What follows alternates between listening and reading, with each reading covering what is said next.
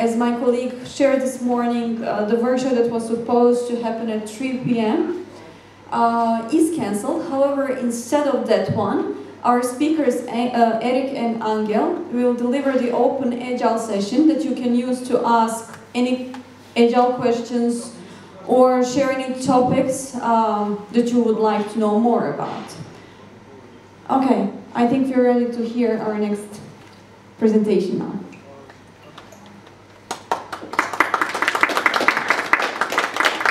Hello everybody, you can hear me, right? Yeah. So my name is Jasmin Ahmedbash and I'm here to present you our digital transformation and using DevOps transformation in BH Telecom as a form of case study.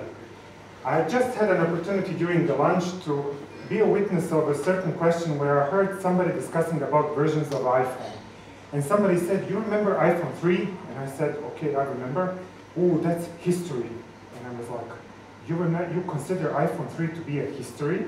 To me, history is World War II, Cleopatra, Turkish Empire, and so on. But they said, it's a history.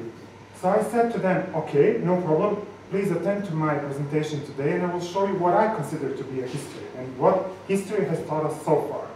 So to begin with, we'll start a little bit with about history and about our IT revolution. We would like to call it it's an evolution, but it's basically a revolution because we revolutionized how the IT performs within the BH Telecom uh, with our partner company Zira. Then I'll show you our road to agility, where we are now, where we are headed to, what, what is expected uh, to be happening in a couple of years, and so on. How we approach DevOps and what we use in order for it to be a successful story at the end. So let's start a little bit by history. iPhone 3 is common sense for everybody else, but is there anybody here in the audience that can remember and tell me what JUPAK is, technology-wise? No.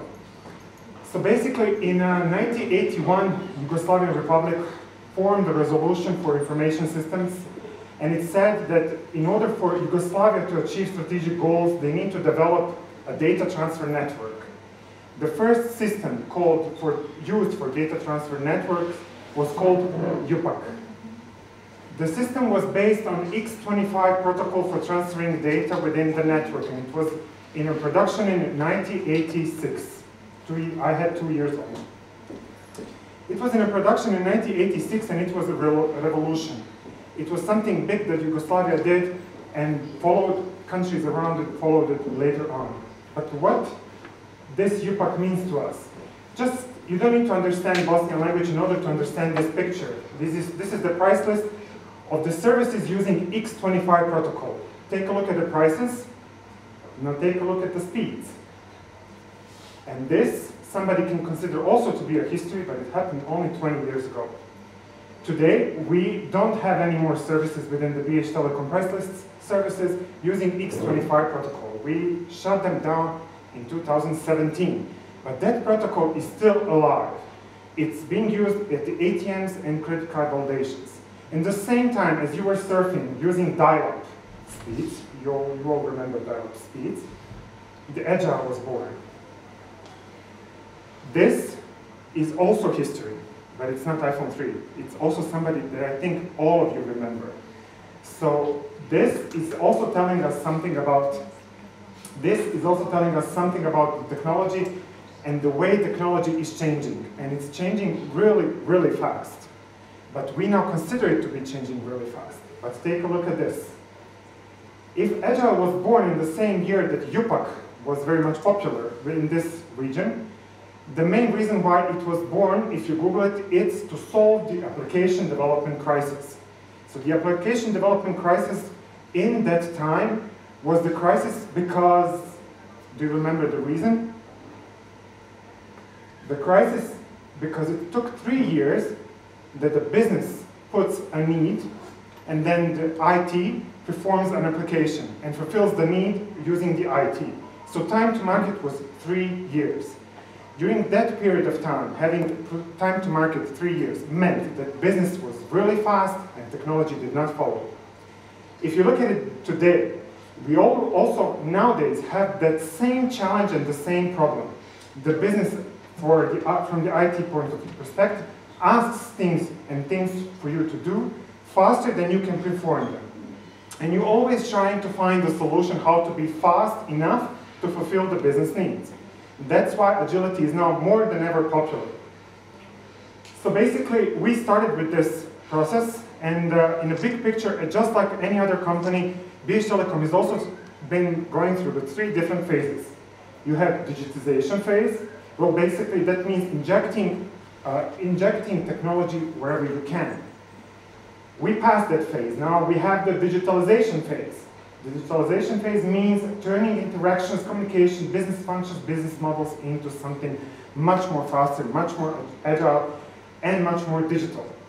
But the fact is that even today, we are now facing the new term. It's called digital transformation. What does digital transformation mean? It's a profound and accelerating transformation of business activity, processes, competencies, at the end, even culture. So we are here.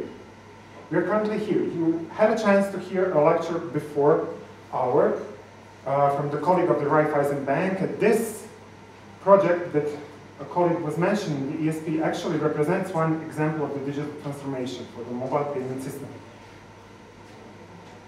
So we decided we need to ramp things up. We need to change things, how we perform, how we, how we put things to the market, how fast we are, and need to transform our business and to fulfill their needs as fast as possible.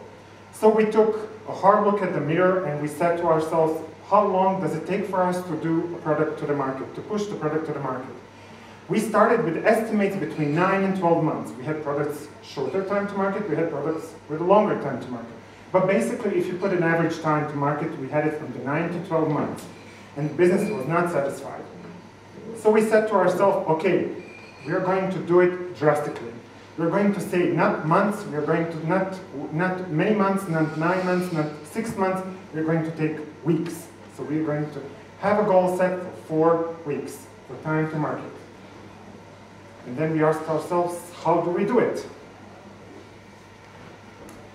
Well, basically, we had two ways. One way was to do it all by the books. We could take a certain amount of time, discover, research, do the theory part, and see what others are doing. We had a period of time where we could read books, visit forums, exchange experiences, and so on. But we also did not have time, on the other hand, because we were kind of running late on the, on the turn. So we decided that the best way to do it is to pick the project that is for the IT, one of the core IT projects, the one project that is the most devoted to business, and transform that project, using that project to be an example of the change that you need to fulfill within the IT and the organization by itself. And how did we manage to make sure people do things that we wanted them to do. Well, basically, you don't. You don't have an option to do that. You have a technology as the driver, and you have people that are surrounded by technology and are enthusiastic about the technology, and then they follow. So that system that I was telling you all about is our CRM system and order management system that has been in production since 2009 one of our most successful projects in the recent decade. The system was very much, very much complicated system.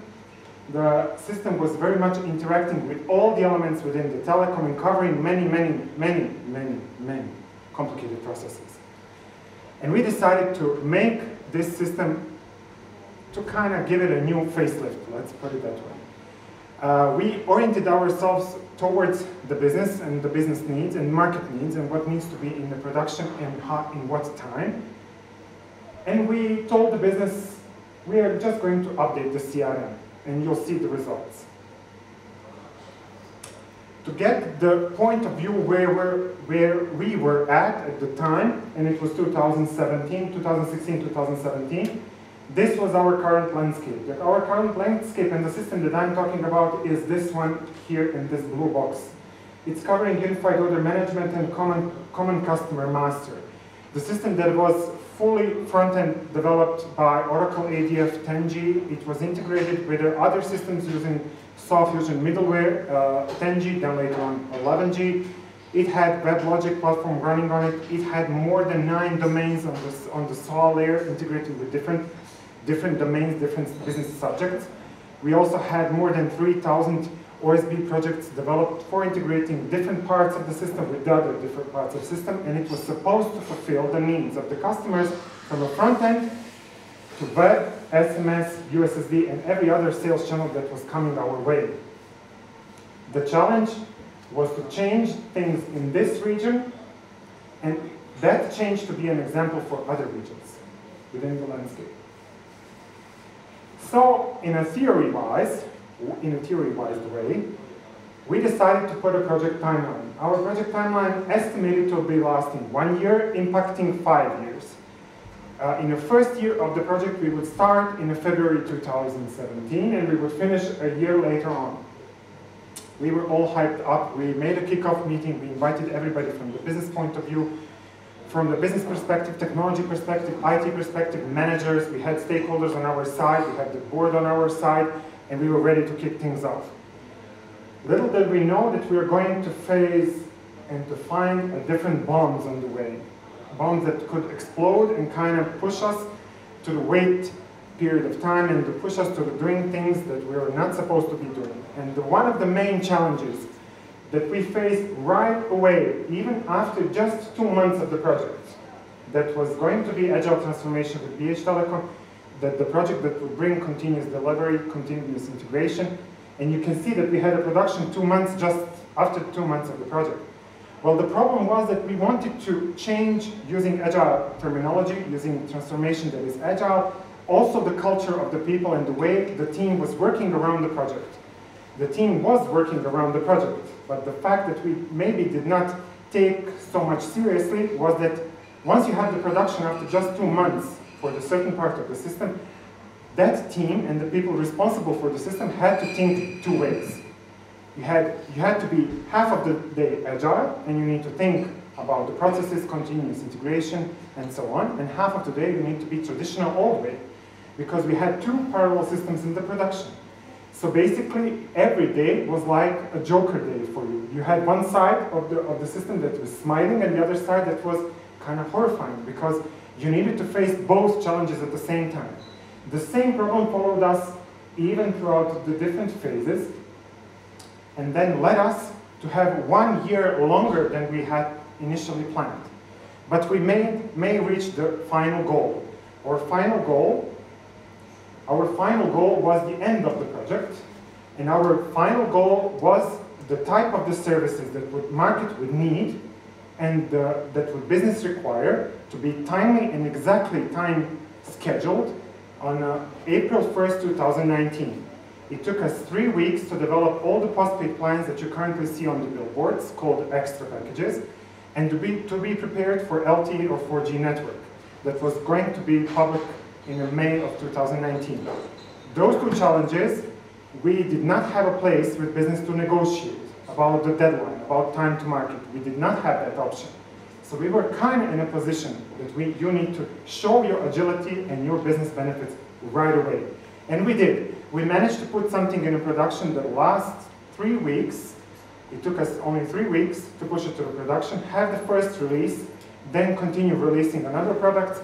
But on April 1st, customers started to buy the new products, and it was a boom on the market. Later on, the LT and the 4G Plus network also continued to be a successful story based on this impact. On the technology point of view and how we change architecture, my colleague Edin from partner company Zira is going to drive you through.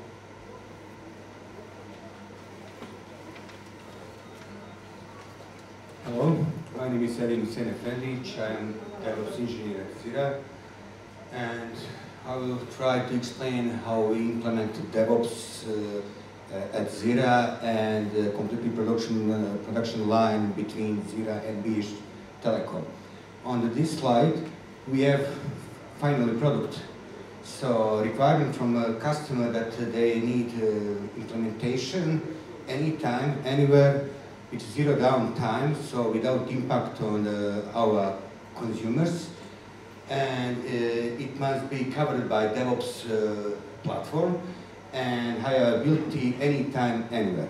So on the, uh, make sure that you can see completely uh, slide, it's all microservices. So we transform our product in BHT Telecom from the one monolith monolith product to the to the microservice pro, uh, product. So, first they ask me what is mean DevOps. So, is Dev, Ops, developer, operation, or something in the middle? Who is left side? Who is right side? So sometimes I'm confused and DevOps is not human. The DevOps is not technology or job role. DevOps is mindset and DevOps is kind of culture, Seem like agile. So this is culture. DevOps is everywhere around us. If you have morning coffee every day in the same time, it's kind of DevOps. And believe me, I consume coffee every day, and uh, without coffee and be root on the production, it's a huge impact on the production. So we need DevOps. If you ask customer, what does mean DevOps? Do you, do you want to implement DevOps? Well, maybe, yes, no, I don't know. Because we decide to use DevOps, but what about customers who's never used DevOps? If we ask customers what is DevOps, especially if we ask operation, what is DevOps? It's DevOps for them like this. So, destroy everything. So, how to change mindset?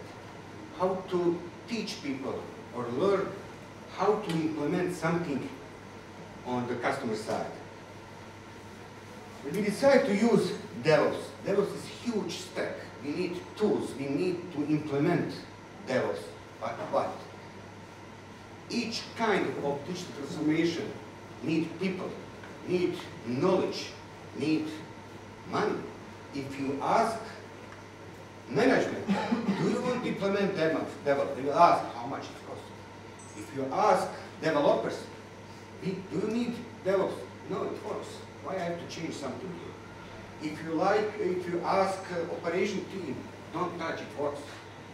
It's very difficult to change something because they don't know what is next. This is huge step. Of course, we need people to know each of, of, of this picture. So what to use, finally, is our stack at Zira and between Zira and Telecom.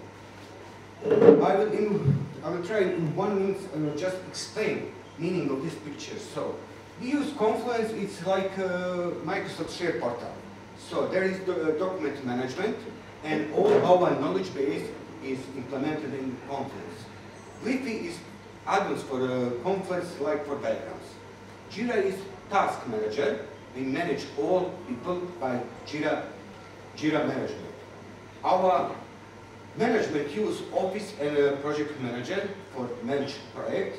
Communication between us employees or BH Telecom is based on the uh, Microsoft Teams and Skype.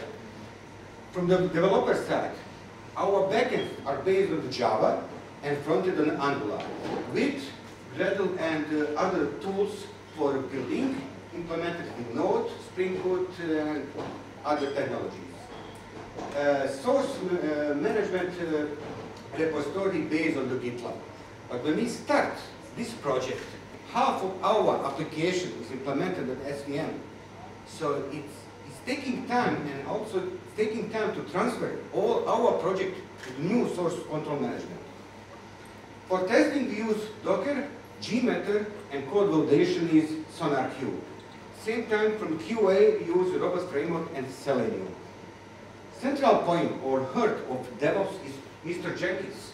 This guy, British, I don't know, and he's, he's controlling all DevOps process.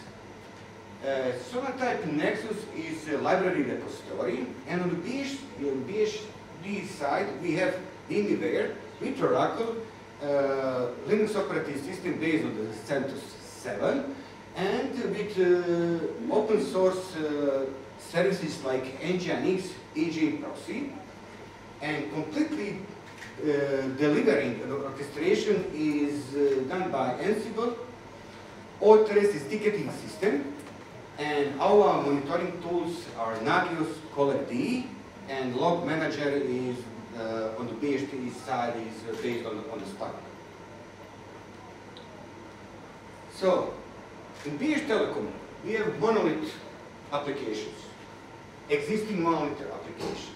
Our job is transfer to microservice. But what is different? Any change, any changes on the, this monolith uh, application require restart. So we, we can implement uh, uh, we can implement any feature every day, every second. It was monthly or every three months. So could you imagine what it means if you have to restart? For each restart, when we have to press button, first what we have to do, let's pray. So we don't know what's happening in the next 30 minutes. Next 30 minutes, actually for us is 30 years. It's a long time because we don't know what's happening. After restart, we have ticketing spam, phone rings, it's mess. So we decide to convert monolith application to all base microservices. So now on, on the BH Telecom we have around 30 microservices and multiple database. Database. So for start the implementation DevOps, we need environments. We can't, of course, we can't play games on the same environments. So now we have five environments. Two at the Zira side and, and three on the BH side. Dev development is place when we start to make baby.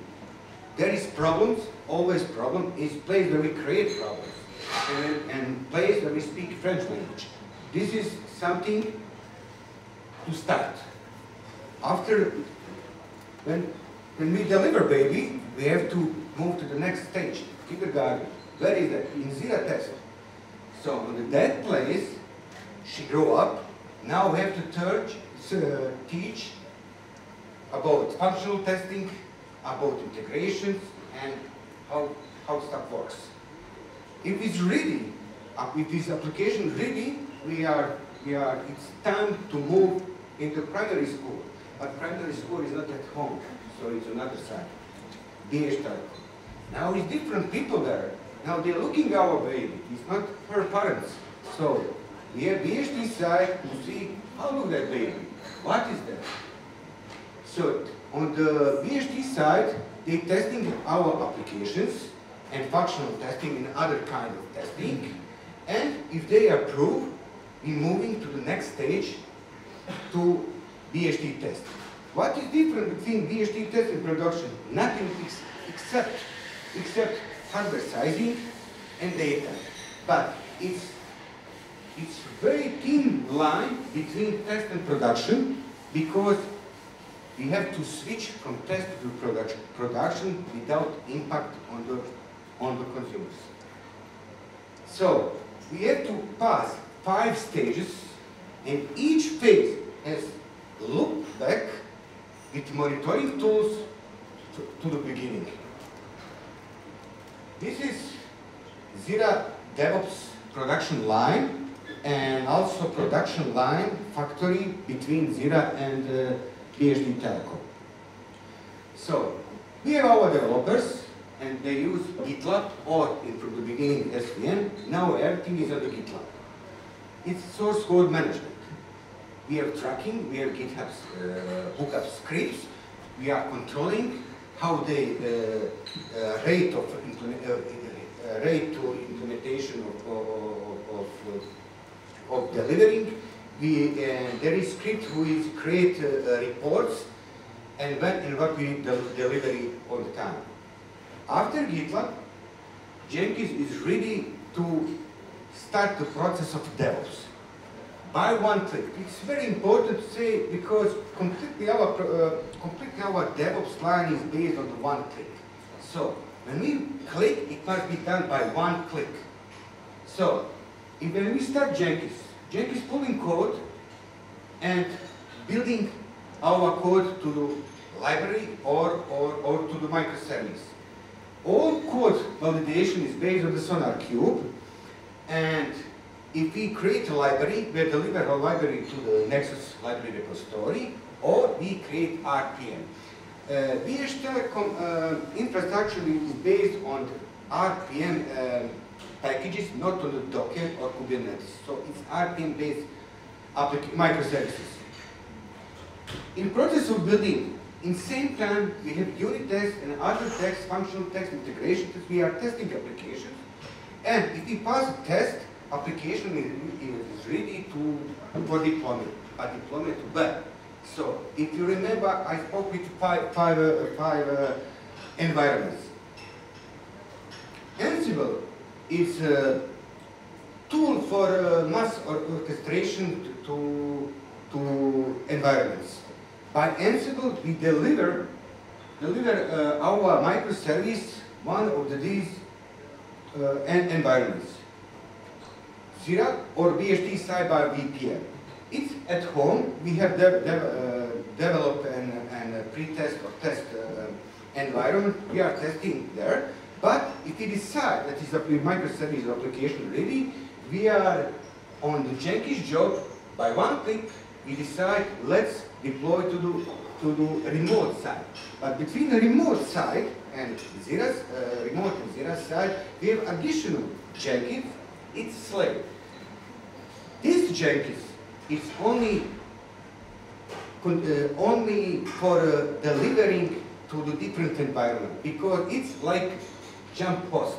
So we don't see production or any any uh, any environment. This is central with, uh, with uh, triggered by master Jenkins, and after delivering RPM to the remote repository, we trigger Jenkins, uh, slave Jenkins, and that Jenkins starting installation and testing one of the three environments. In same DevOps server, we have monitoring tools, and each phase is covered by monitoring loops and feedback to the, to the beginning.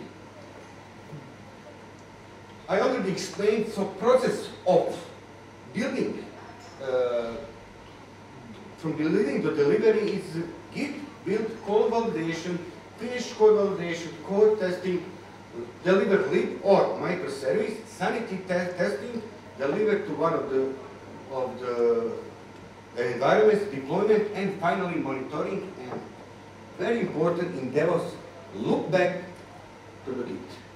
So we have continuous monitoring, and in next slide I will explain why it's important monitoring. So DevOps works, we are happy, BHT is happy, it works. Next deployment, everything's down. And where is problem? Who is guilty? Oh, I know is problem because we have developers, we have management, we have QA, maybe in server, maybe it's part operation, maybe it's network team. We don't know where is problem, but it's problem. It's red alert. It's problem. If you remember movie Charlie Chaplin, so it's product line, but who is guilty? How to find? In that process, we use monitoring tools. For us, monitoring tools is very important, and any system, any system, require minimum three monitoring solutions. First one is Nagios. It can be any kind of monitoring, but we use Nagios. Nagios is monitoring tools, tool for checking something is up or down, yes or no, zero or one. Quality is for graphing. So if something happened, we need to graph. We must have to graph to see leaking memory because now it's only real time something down, but when and why. So it's very important for troubleshooting. Log analyzer, each our microservice delivering uh, and produce logs so we're collecting logs and doing analyze logs by Spark.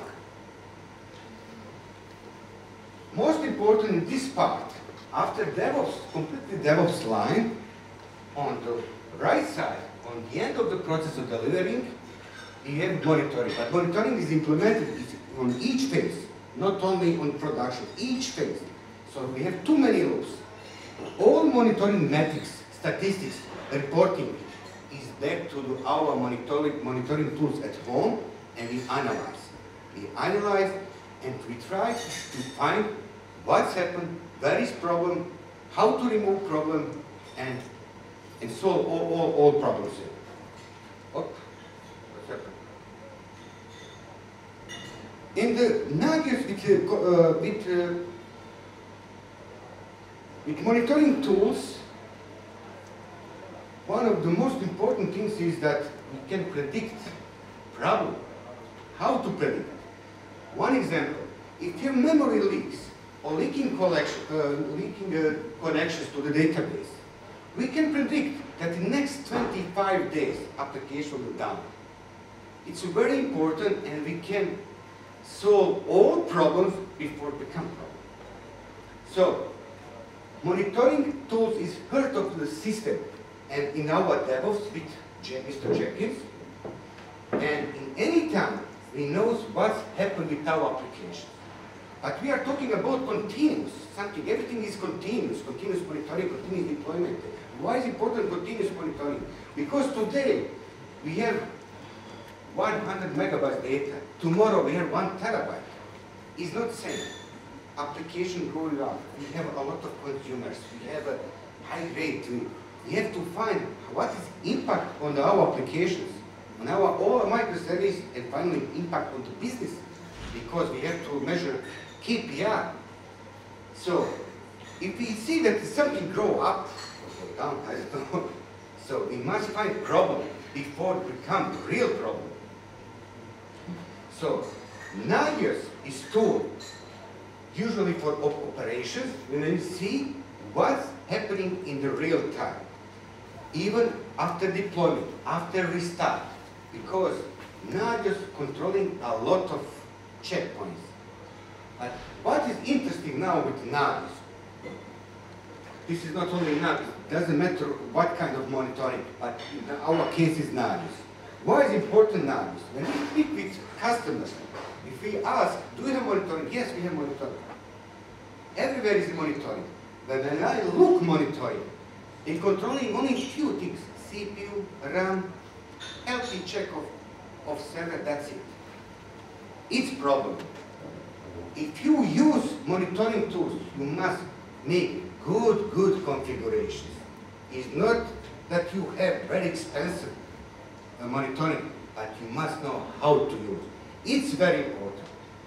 Now, in the monitoring tools for uh, for uh, Zira, only 25 checkings on the clean installed Linux server, without anything, just by 25. Uh, but Have a few minutes. This is a picture of uh, one. This is not production picture. This is the only explanation how one night. We try to keep everything on the green. It must be green, which means we're following green technology, of course. So it must be green. It's it's it's very important for operation team. It must be green because it's hundreds and hundreds checkings. It's impossible to check without monitoring. If we do any restart, any problem, we can find here. I said, now you heard of monitoring. CollectD.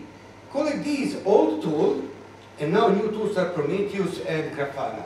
But we are still using Collect D because Collect D doesn't require client server, uh, applications, and each node is actually CollectD.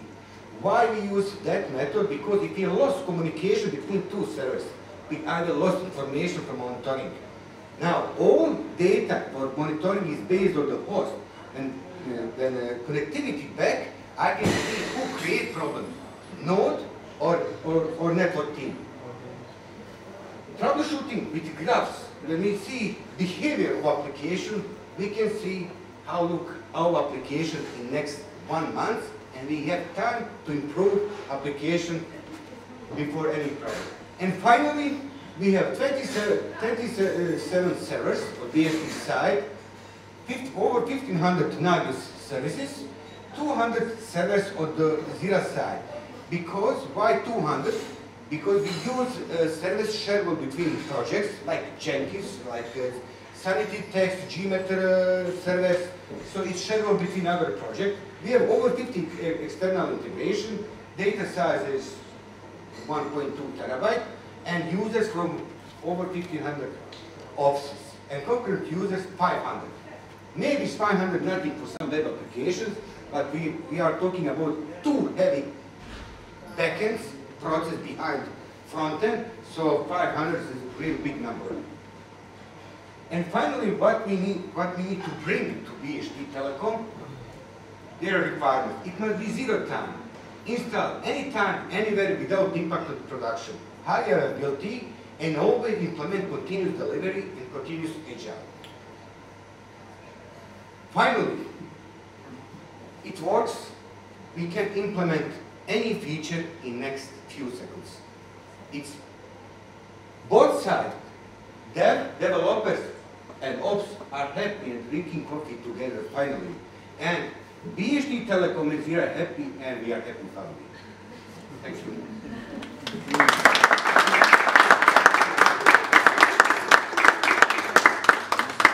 So at the end, at the end, the project started in 2016. It's now almost three years after its beginning, and it's coming. It came to an end in this year.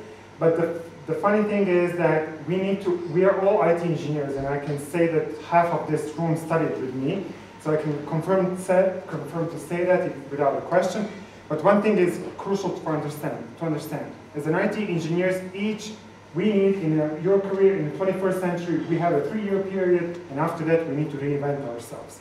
Technology reinvent, reinvents us, and that's the way that we need to follow. We, business has its own needs, it's fast, and we need to follow it. But as an IT engineers, every three years we need to reinvent ourselves. We can say that with this project, within the last three years, we reinvented ourselves. But we are now moving that reinvention to the other aspects of the company and other aspects within the IT. Basically, for us, agility is the new currency in the business. Uh, we spoke about budgeting, we spoke about people, but basically the new currency for us and, talk, and the, the way we speak is now the agility. And the basic advantages that we see that helped us gain prospect and gain positive impact on, from this project are basically presented in this slide. So it's a reduced chance of the product failure because we have all the monitoring tools, we have uh, tools to check if the service is working, we have tools not to have downtime if the service is not working properly.